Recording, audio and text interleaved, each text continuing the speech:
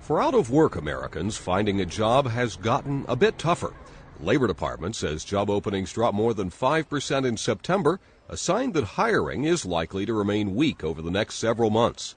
Employers advertised 2.9 million jobs at the end of September. That's 163,000 fewer than the previous month.